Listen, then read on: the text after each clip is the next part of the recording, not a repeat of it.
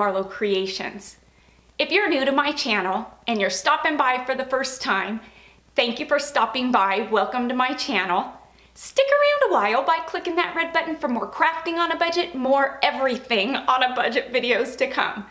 And if you click it again when the bell appears, YouTube should notify you every time I upload a new video, depending on the option that you choose in the drop-down menu of the bell. If you're interested in following me on social media, you can find those links in the description box below. What have I got going on for you for today? Oh my word, today's DIY I am so stinking excited about because the outcome turned out amazing. It's been a while since I've been this excited about a DIY that I've created, but this one just honestly superseded what I had in my head and the outcome turned out amazing. And the best part is it is so budget friendly, I can hardly stand it. And a lot of the stuff that I'm using, you can get from the Dollar Tree.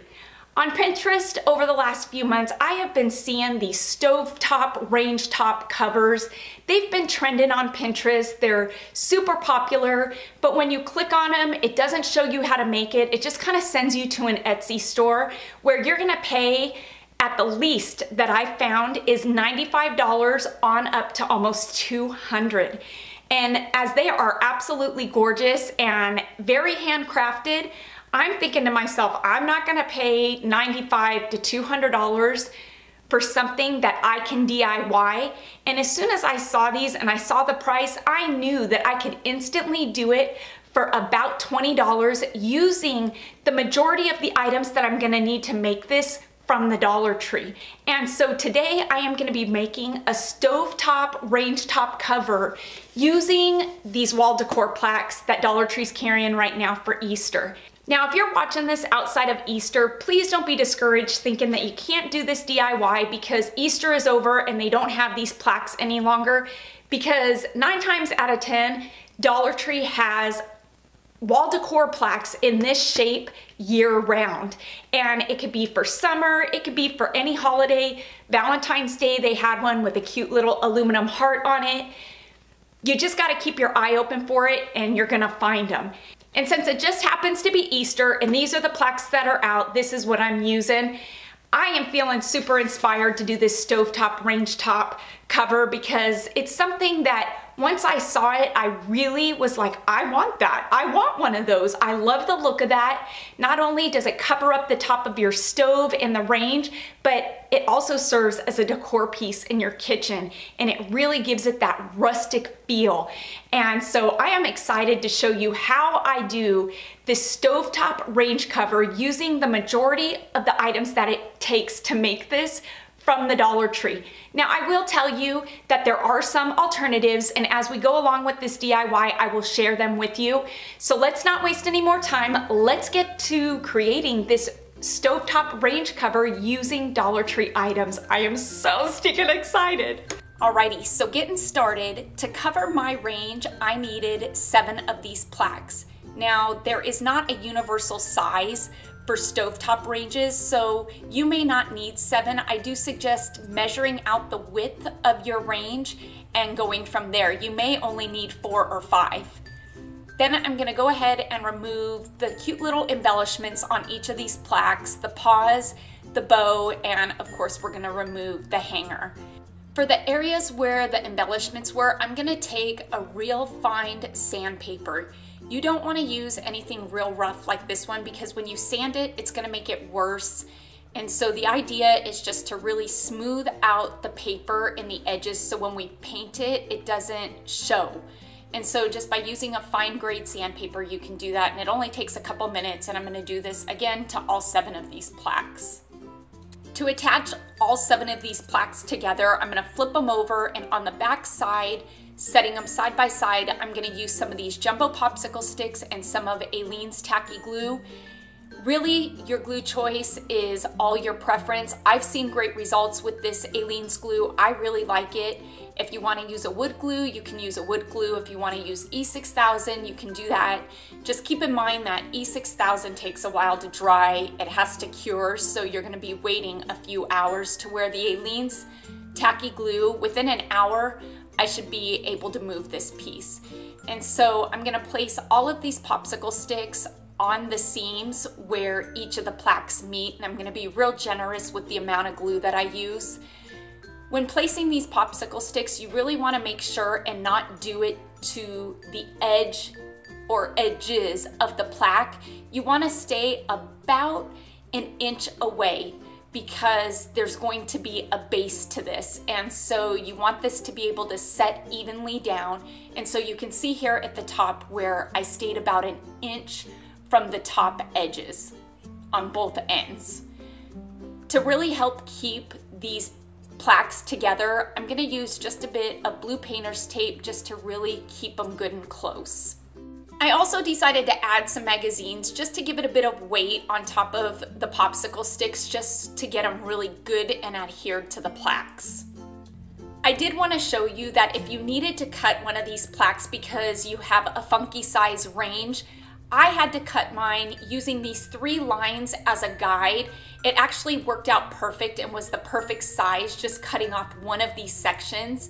If you tape a ruler to your plaque, and you use the ruler as a guide and score it several times with a razor, you'll be able to cut through this pretty quickly. I was able to cut through it in just about four or five minutes.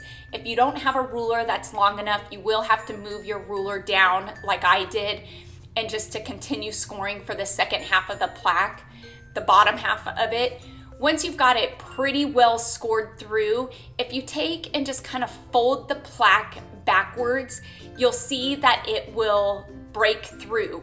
But I didn't want it to break and rip. And so as I was folding and bending it backwards, I did take my razor on the back side and just kind of run it along that folded edge and it cut through perfectly. I'm gonna run a piece of sandpaper over this just to sand it down and to smooth it out just a bit. Now some of you may be asking, why not just use plywood instead of gluing seven of these plaques together? Well, there are a couple reasons why I went with this plaque. One being plywood is going to add weight to this, and so it's gonna make it a heavier piece to lift up. And two, I like to give subscribers an alternative to using wood. If you wanna use plywood, you totally can. Another reason why I went with the plaques was because by gluing these plaques together side by side, it's going to give the look and the feel of wood panels. Because of where the two plaques meet, there's gonna be a seam here, and when you paint it and you sand it, you're gonna get that natural seam that comes out. To where if you use plywood, you're gonna have to paint it on, and there are people who are gonna say, I'm not artistically inclined. If I paint this, it's gonna look like funky lines and it's not gonna look like that. And so by using these plaques, you are giving the illusion of wood panels, which is very rustic and farmhouse. You can see that I am easily able to flip this over. It is a very sturdy piece. The popsicle sticks I'm happy with. If you're worried about it not being sturdy enough, you could always reinforce it with a bit of cardboard if you have some extra cardboard lying around.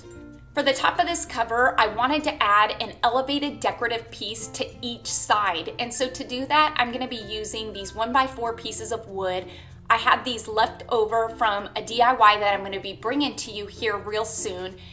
Really, going the route of the wood is so much cheaper than really doing it any other way. Going to your local hardware store, you're gonna pay maybe $3 for a six foot piece of this and you're not even gonna use it all in this DIY. You're gonna have some left over and the hardware store will give you a couple cuts for free. So you might as well take advantage of that, save yourself some money. If you don't wanna go to the hardware store, you could always use these wood slats that you can get at Walmart. This is by Create and Go, six come in a pack. You're gonna need two packs. I paid $2.97 a pack for these, so you're gonna end up paying $6 for two packs, which is way more than you would pay if you bought the wood itself. Another alternative would be to use some of Dollar Tree's Jenga blocks and glue a couple of rows together. There again, you're probably gonna need like five or six boxes, so you're still gonna spend more money. So your best bet is just to go to your local hardware store and have them cut you some wood and you're gonna spend $3. To glue these on, I will be using some of Dollar Tree's wood glue. This is by Crafter Square. If you have a wood glue that you prefer better than this, go for it. I've seen great results with this glue, so that's what I'm gonna be using. For the base of my cover, I am using Jenga blocks and I needed seven boxes to do this. And so this is kind of the frame that's going to hold the top up. I've got taller grates on my range and so I needed to make these high enough that the plaques wouldn't touch it. And so to do that, I glued together using Aleene's glue a stack of four, a set of four blocks and I did 62 of these, I believe, which is going to make this entire frame. Once I glued the four sets together side by side, I rotated them and I glued them together side by side with, I guess the blocks now horizontal instead of vertical, if that makes any sense. And I had to do two sets of 20, which would be a row of 20, and that was for the top and the back. And for the sides, I did two sets of 12. And again, using the Aleene's glue, this worked really well. I suggest kind of gluing these together in pieces so that way you can kind of maneuver the blocks and push them together easily. Now for the base of this cover, I do suggest that when doing this, there are no universal sizes. I can't tell you what size you're gonna need or how many blocks you're gonna need for your stove because I did mine based on my range. And so I think the best thing to do when sizing it is just to play with your blocks, stand them up, lay them on their sides and go across just to see how many blocks you're gonna need. And you really wanna try and make it a size so you don't need to cut those blocks. And that was what I did with mine. That back row of blocks up against the backsplash, it's actually about an inch and a half to two inches away from the backsplash. But when I put the top on, the plaques on, the plaques themselves are actually gonna be touching the backsplash. And so by doing it this way, I saved myself from having to cut any blocks. I do suggest gluing your frame together in place around the range itself. It's gonna make it a lot easier. Once you've got your frame glued together, before it dries, you're gonna place the top on this. And so to do that, I'm gonna place some glue along the top edge of all of the Jenga blocks. Then I'm just gonna gently place the plaques right on top. And so by doing it while it's wet, it's gonna give you the capability of kind of maneuvering things around for a couple minutes to get things straight in place, lined up with each other, and I think it's just gonna work out better. You're gonna see that my plaques are painted because I had gotten a little excited ahead of time. You don't need to paint them. I kind of jumped the gun. I figured since I gotta wait for this piece to dry, now would be a good time to fill in these holes that the plaques originally had that I forgot about until I started painting it. And then I thought, oh wow, I needed to fill these in. And so that's why I didn't show that step. So since this piece needs to dry, I'm gonna use some Dollar Tree spackling and I'm gonna fill in the holes with this. And by the time the frame and the top are dry, these should be dry and ready to smooth out. What's great about working with spackling is once it's dry, if you just take a wet sponge, you can easily wipe over the spackling and the excess spackling will come right off and you've got a nice smooth surface and your holes are filled in. Now on these wood pieces that are on each side of the cover, I measured in and I found the center point then using this Black & Decker drill, this is such a handy tool that I invested in. I think I spent maybe $20 on it at Walmart and I use it all the time. It was well worth the investment because it really opens up what I can do craft-wise, DIYing. I'm gonna drill a hole on each of these panels. And I'm doing this because this is where I'm gonna place the knobs.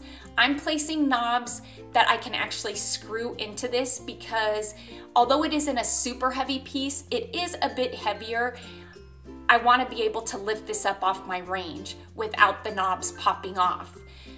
Now it is time to finally paint this piece and get these edges done. So the paint that I will be using is this Waverly chalk paint in the color of ink. And this is going to be the base coat of this cover. Because when I go to distress this and I sand this down, I wanna be able to sand it down to the black and have the black come through the top coat. And so I'm gonna give this a second coat. I had really only put one coat on this And so you might need two coats because we are covering up the original design on the plaques and you can still kind of see through that first coat. And so yeah, you're gonna wanna give this two good coats of a black base paint if you're going with that farmhouse theme and you think you're gonna wanna distress this.